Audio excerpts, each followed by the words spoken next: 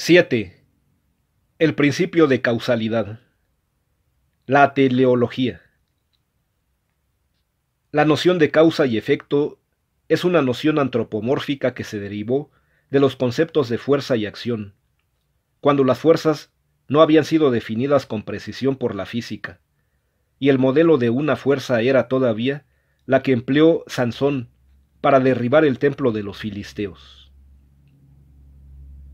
La gran mayoría de los filósofos ha pensado, y aún lo sigue pensando, que la noción de causalidad es indispensable para la ciencia, y que precisamente uno de los objetivos más importantes que persigue la ciencia es el de encontrar causas para los fenómenos y establecer relaciones causales entre unos fenómenos o eventos y otros. Por este motivo, los filósofos han buscado expresiones de lo que piensan que es o debe ser el principio de causalidad. A título de ejemplo se pueden citar las siguientes. El diccionario filosófico de Baldwin propone tres. 1. Causalidad. Es la conexión necesaria de eventos en la serie de tiempo. Como hace notar Russell en su primoroso estudio, la noción de la causalidad, e, esta definición es oscura incompleta e inexacta. Para darle algún sentido habría que formularla como sigue.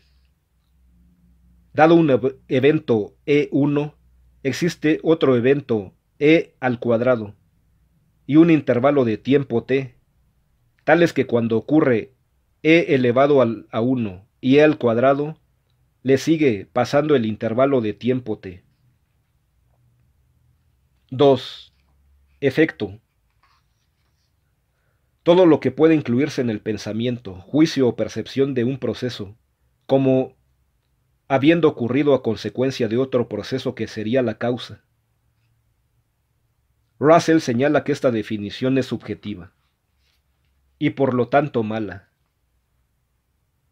Dice además que es circular, ya que el término consecuencia implica la noción de causalidad. 3. Causa y efecto. Términos correlativos que denotan dos cosas, fases o aspectos distinguibles de la realidad relacionados en tal forma que siempre que termina de existir el primero, empieza inmediatamente a existir el segundo, y siempre que empieza a existir el segundo, el primero cesó de existir inmediatamente antes. El término inmediatamente no es susceptible de una definición exacta, ya que la serie del tiempo es incompleta. Además, como señala Russell, el primer evento tiene necesariamente alguna duración y puede presentarse dos eventualidades. O bien este primer evento no cambia durante su duración, o bien está cambiando en alguna o algunas de sus características. Si no cambia, ¿por qué es que a un momento dado surge repentinamente el segundo evento? Si la causa está cambiando, habría que subdividirla entonces en una secuencia causal continua. Pero entonces, ¿cuál es la causa? Es el último estado de este primer evento, es decir, el que precede instantáneamente al efecto. Y entonces, ¿Cuál es el papel de los estados anteriores de la causa, por la que se refiere el efecto? Por su parte, John Stuart Mill sugirió la siguiente definición. La ley de la causalidad es la sucesión invariable, que se encuentra por observación entre cualquier hecho natural y algún otro que le precedió. Esta proposición es vaga, si procuramos precisarla nos quedará como único criterio riguroso el de la observación de sucesiones invariables. Como hizo notar Hume, si adoptamos este criterio para la causalidad, debemos concluir que la noche causa el día, y el día a la noche, ya que esta es, quizá, la sucesión más regular y constante que podemos observar. Ahora bien, la gran mayoría o todos los hombres de ciencia y los filósofos se rehusarían a aceptar una relación causal entre la noche y el día, o entre las cuatro estaciones del año que, tomadas sucesivamente, son semejantes. La actitud de Kant con respecto al principio de causalidad es todavía menos aceptable que las mencionadas antes. En la primera edición de su crítica de la razón pura dijo, Todo lo que ocurre o empieza a existir supone algo previo a lo cual sigue, según una regla.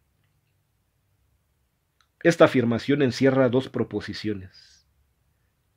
La primera se limita a establecer que el universo no tuvo principio, pensamiento que no es pertinente al problema que nos ocupa. La segunda asevera la existencia de reglas en las sucesiones de eventos.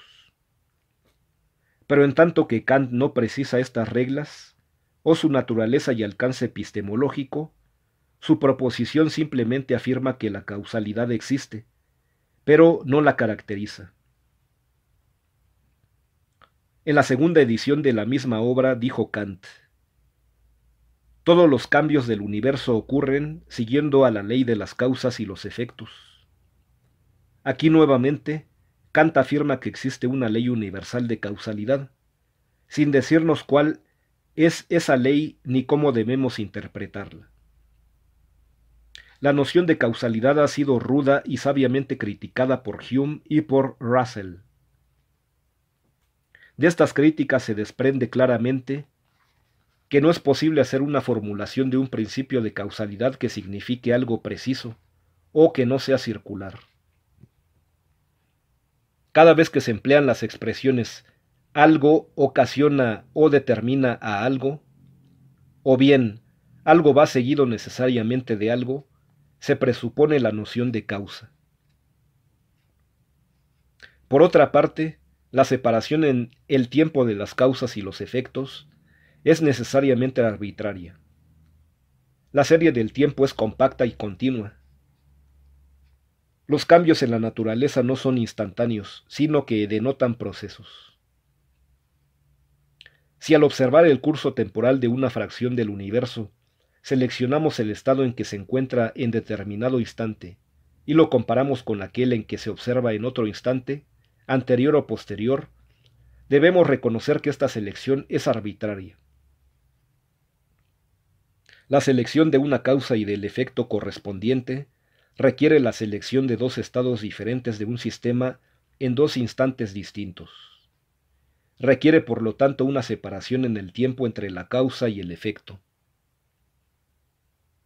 Pero en cuanto singularizamos dos instantes distintos de un proceso, tenemos que admitir la interferencia posible de una influencia extraña que se ejercería en el intervalo que separa estos dos instantes y que podría modificar el segundo estado, el efecto. En consecuencia, la afirmación de que un estado C de un sistema va necesariamente seguido, pasando un intervalo de tiempo t, de un estado E, es insostenible. Y como dos estados distintos, C y E, no pueden ser rigurosamente contiguos en el tiempo, es decir, como el intervalo t no puede tomarse como igual a cero, la afirmación de sucesiones necesarias es inadmisible. La noción filosófica de la causalidad contiene dos conceptos independientes. En el primero se afirma que la existencia de E1 determina la aparición de E2, que E2 no hubiera existido si E1 no la hubiera precedido. El análisis anterior nos muestra que esta afirmación es esencialmente vaga y que no es sometible a un examen o prueba experimental, es decir, que no tiene sentido desde el punto de vista del operacionalismo. El segundo concepto que, insisto, es independiente del primero, afirma que E1 siempre va seguido de E2 o en algunas de las formulaciones de este principio, dice que E2 siempre va precedido de por E1. Tomadas al pie de la letra, estas afirmaciones son falsas, es decir, que la observación no las confirma en todos los casos. Si tomo a E2 como la muerte de un hombre, no es cierto que esta muerte siempre vaya precedida de un balazo en el corazón.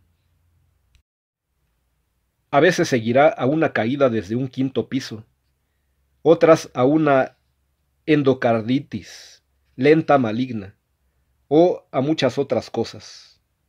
E1 y siguientes. Por otra parte, si tomo a E1 como una fiebre tifoidea, no es cierto que siempre vaya seguida de la muerte del paciente dentro de un plazo corto determinado. Estoy empleando estos ejemplos de acuerdo con el hecho que los certificados de defunción piden que el médico especifique las causas de la muerte. Como fue señalado al principio, la gran mayoría de los filósofos suponen que la ciencia postula y utiliza el principio de causalidad. La crítica severa que hizo Bergson del método científico se basó precisamente en esta suposición. Pero el hecho es que la ciencia ni supone un nexo causal entre eventos sucesivos, ni se preocupa por buscar un nexo de esta naturaleza. Los términos causa y efecto son empleados ocasionalmente en las publicaciones científicas, pero son mencionadas generalmente en las locuciones populares, esencialmente no técnicas que se utiliza que utiliza el autor mezcladas con los términos científicos precisos. La noción popular de causa, de concatenación necesaria, ha tenido y puede tener todavía alguna influencia en el desarrollo de alguna ciencia o en el estudio de algún problema, pero es sólo en las etapas crudas y titubeantes, o sea, las que corresponden a un conocimiento en la fase rudimentaria. En cuanto una ciencia o el conocimiento científico de un problema alcanza madurez, la noción de causa desaparece y jamás vuelve a reaparecer.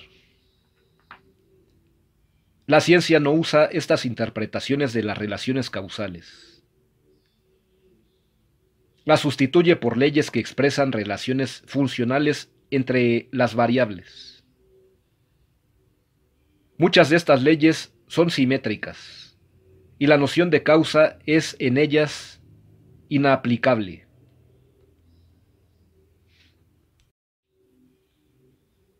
Por ejemplo, la ecuación de los gases ideales se expresa como el producto de la presión por el volumen equivalente al número de mols por la constante de los gases y la temperatura. Consideremos otro ejemplo, la ley de Ohm, donde la intensidad de corriente eléctrica equivale al cociente del voltaje sobre la resistencia. Si mantenemos la resistencia constante y aumentamos la diferencia de potencial, la corriente aumentará y podríamos pensar que los cambios de potencial causan los cambios de la corriente. Pero si otra vez, manteniendo la resistencia constante, aumentamos la corriente, la diferencia de potencial aumentará, y ahora será la corriente, que antes era el efecto, la que aparecerá como causa de los cambios de voltaje. Es evidente que la noción de causalidad es absolutamente inaplicable a las relaciones simétricas de este tipo. No todas las leyes formuladas por la ciencia para los fenómenos naturales son simétricas. En cualquier proceso hay una asimetría en el tiempo, que está impuesta por la segunda ley de la termodinámica, por el principio de Carnot-Clausius. Esta ley afirma que la entropía del universo tiende siempre a aumentar. 1. No hay trabajo si no hay una diferencia de potencial, según Carnot. 2. La distribución uniforme de la energía es más probable que la distribución heterogénea. 3. El orden es menos probable que el desorden.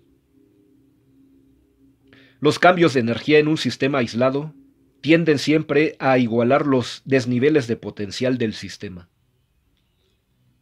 Cuando ya no haya diferencia de potencial, el sistema ya no presentará cambios.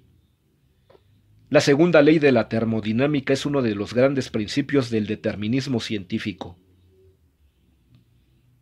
Este principio es muy abstracto en sus términos porque es de aplicabilidad universal. Posiblemente no han recurrido a él los filósofos por su abstracción y por ser un principio estadístico de probabilidad, no una afirmación categórica de la sucesión de eventos específicos y concretos. Decir que en un sistema cerrado la distribución uniforme de la energía es más probable que su distribución heterogénea dista mucho de la otra afirmación que expresa que determinado evento E1 va siempre seguido de otro E2. El segundo acerto es quizá más dramático y satisfactorio, pero es en general falso. El primero es universalmente cierto. Cuando Galileo enunció las leyes de la caída de los cuerpos, dijo, Ya no me parece conveniente investigar la causa de la aceleración. Lo que me parece importante es, es estudiar las leyes de este fenómeno. Por su parte, Newton expresó, Hasta ahora no he podido descubrir la causa de la gravedad, y no quisiera ponerme a construir hipótesis. Me basta afirmar que la gravedad existe y que obedece las leyes que he formulado, y ella me explica los movimientos de los astros y la ocurrencia de las mareas.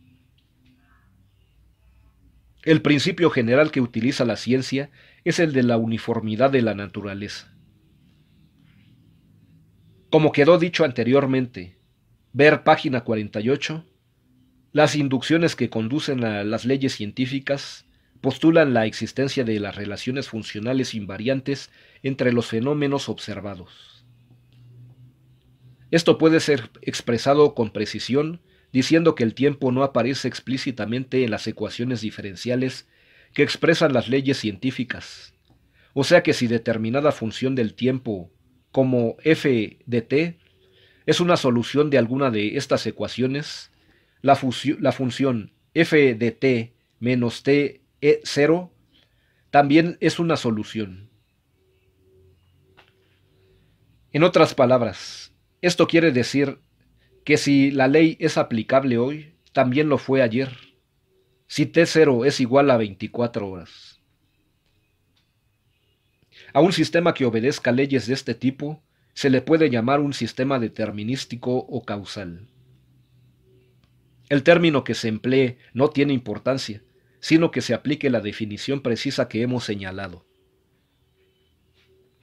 Este principio de la invariancia de las leyes científicas no es una verdad evidente a priori, ni es una necesidad del pensamiento, ni es un imperativo categórico, es sólo una inducción empírica que parte de las leyes mismas, leyes que, a su vez, son inducciones empíricas. Como hace notar Russell, el principio de uniformidad, no el de causalidad, afirma que las leyes naturales son permanentes. El determinismo que esto implica no es unidireccional o irreversible, el futuro determina el pasado, al igual que el pasado determina al futuro. Sin embargo, hay que hacer notar que la noción newtoniana laplaciana de que todo el pasado determina todo el futuro era demasiado amplia.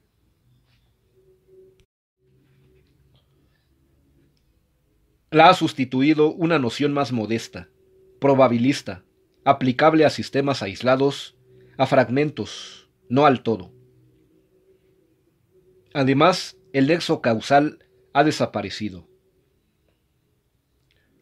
El indeterminismo de la física moderna no depende tan solo de la imposibilidad, como señaló Heisenberg, de determinar con precisión tanto la posición como el momento de las partículas, sino que también depende del hecho de que muchas de las teorías actuales son estadísticas y fijan solo probabilidades. Una discusión del principio de causalidad no sería completa sin la consideración de la teleología. Tradicionalmente se considera como teleológico a una proposición o a un argumento que propone como causas de un evento o fenómeno a otro fenómeno o evento posterior en el tiempo. Por extensión, se interpretan también como teleológicos a los argumentos que atribuyen un propósito futuro a un acontecimiento actual. En realidad, dado que sean numerosos los casos en los cuales alguien haya afirmado explícitamente que un efecto fue anterior a una causa. Cuando Galileo sustituyó la vis a tergo de Aristóteles por la inercia e introdujo en la física un determinismo orientado hacia el futuro, negó el papel de las entelequias y afirmó que el futuro no puede operar sobre el presente o sobre el pasado. En los siglos que han transcurrido desde el Renacimiento, el determinismo ha ido ganando más y más terreno a la teleología, aunque ha logrado derrotarla del todo. En la física, la victoria ha sido casi completa, pero en las otras ciencias, tales como la biología y la psicología, las explicaciones del tipo teleológico son aún abundantes. A estas explicaciones se las haya disfrazadas más o menos, en un lenguaje pseudo-determinista. La reacción contra el finalismo fue muy saludable para la ciencia. Las explicaciones teleológicas eran demasiado fáciles. No tenían además valor predictivo alguno y no eran sometibles a pruebas experimentales, es decir, no resistían al criterio operacional. Hacer un experimento es someter a un sistema actual que, en el futuro, estará solamente en un estado determinado a ciertas condiciones que modifican esta probabilidad ulterior. Nuestra intervención en el sistema es posible como seres humanos. En cambio, no nos es posible efectuar un experimento en reversa. No podemos ver cómo una modificación de un estado futuro de un sistema podría influir sobre los estados pasados. El fracaso de la dinámica rígida newtoniana y la introducción de la noción de probabilidad al determinismo de la física moderna, llevada a cabo por Maxwell, los Gibbs y los Boltzmann, ha cambiado importantemente el panorama científico contemporáneo. Los argumentos calificados como teológicos son generalmente de la forma siguiente. La sangre de un mamífero posee determinadas propiedades con el objeto de defender a un organismo contra la invasión de determinados gérmenes. También pueden tener una construcción en la cual el determinismo por el futuro es menos obvio. Los mecanismos de defensa del mamífero M contra los gérmenes G1, G2, G3, etc., son D2, D1, D3. En muchos casos, la teleología de una proposición es puramente formal. Por ejemplo, cuando digo, el pulmón humano defiende el organismo al cual pertenece contra la invasión del bacilo de la tuberculosis. Entre otras cosas, lo hace envolviendo a dicho bacilo en una cápsula de tejido conjuntivo, impidiendo por este mecanismo su penetración a la sangre y su consecuente invasión de otras vísceras. En este caso, la antiteologistas me censurarían severamente. Si en cambio digo, la penetración del bacilo de Koch al tejido pulmonar determina una proliferación local en el tejido conjuntivo que enquista el bacilo. Este enquistamiento determina la localización del bacilo e impide así su entrada al torrente sanguíneo y su llegada a otras vísceras. De esta manera, no creo que me acusara de haber enunciado una proposición teleológica. En realidad, aunque la fraseología es distinta, el contenido de las dos proposiciones difiere poco o nada.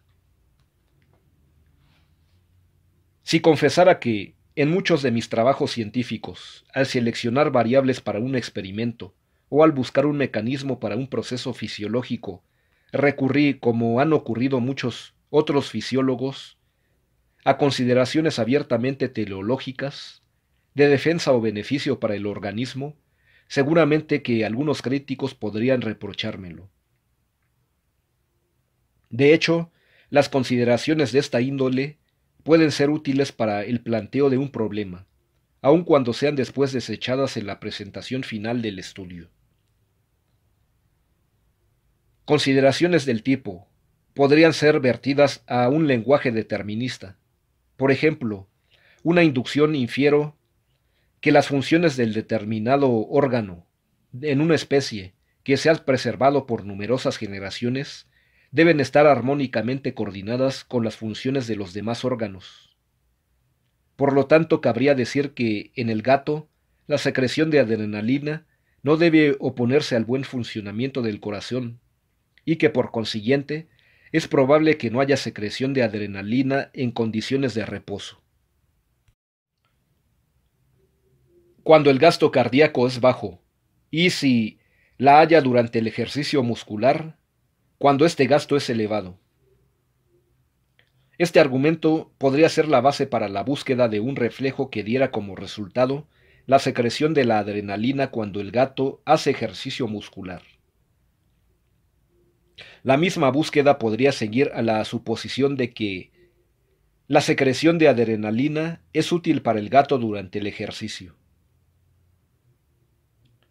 Habiendo concluido como concluimos antes que el nexo causal es ilusorio, es tan ociosa la discusión de si hay causas finales como lo es la de si hay causas antecedentes. Los casos citados hasta aquí son triviales y ello es porque en realidad no se postula en ninguno de estos un efecto que antecediera a una causa.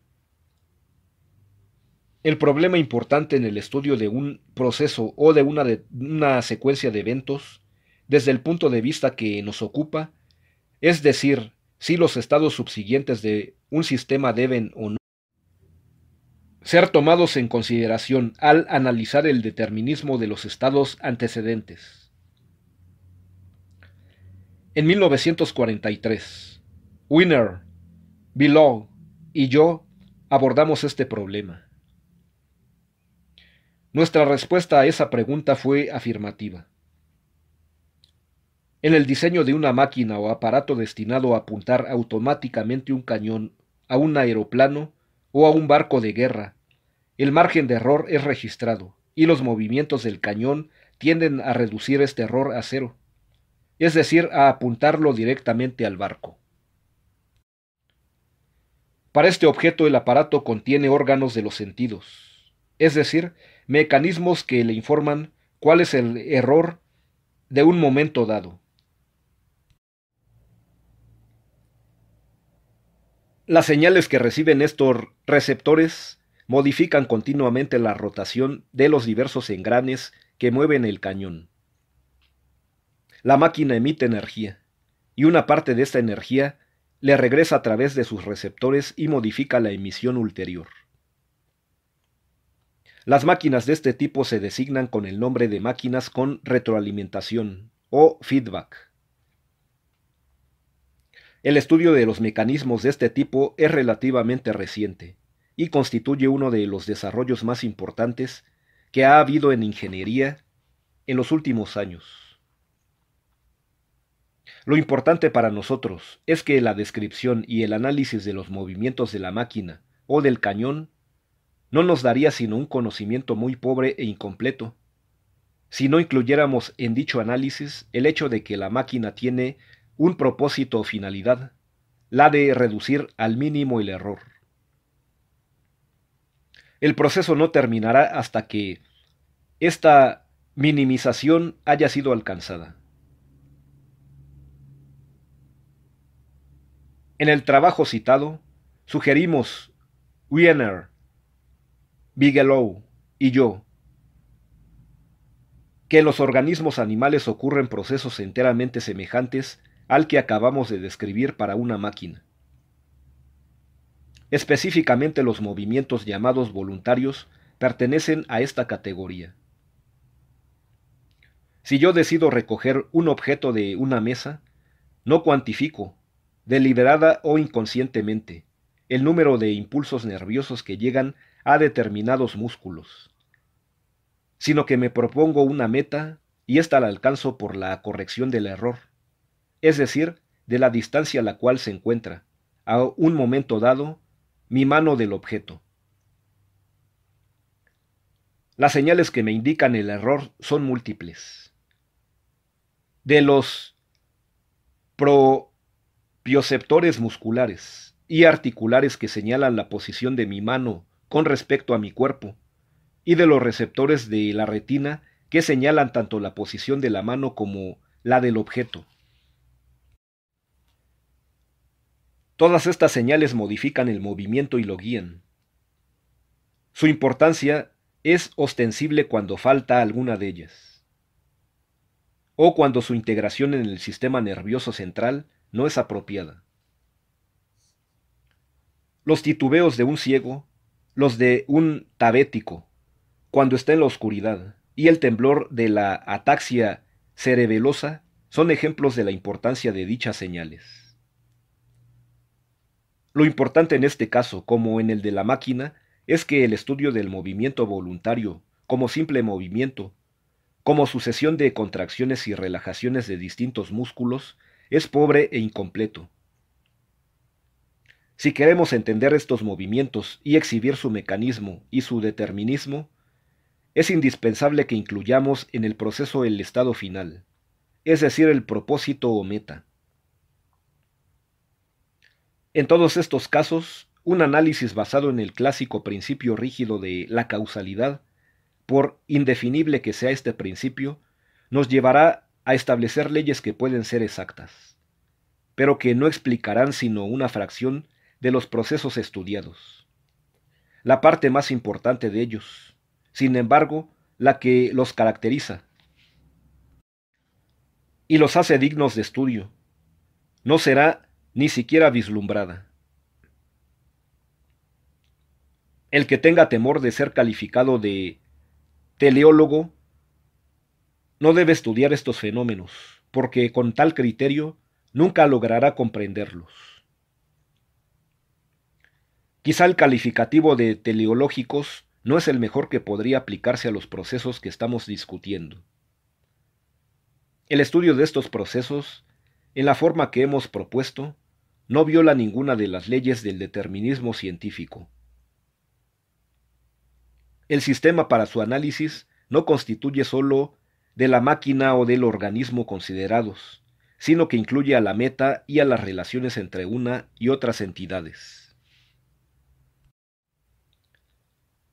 El proceso está dirigido por las relaciones que hay entre el eje longitudinal del cañón y el blanco, o entre la mano y el objeto sobre la mesa, y termina cuando estas relaciones se ajustan a una norma, fijada de antemano en el futuro. En este sentido, el estado final determina el proceso, aun cuando esta determinación sea muy distinta de la ingenua y poco crítica que se ha postulado cuando se habla, seriamente, de causas finales. Este tipo de procesos podrían ser englobados con el término de comportamiento predictivo.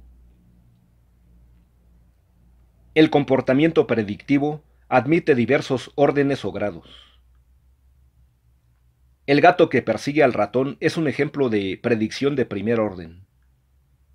El gato solo predice el curso de la carrera del ratón. Arrojar una piedra a un objeto que está en movimiento requiere de una predicción de segundo orden. Es preciso prever las trayectorias, tanto de la meta como la de la piedra.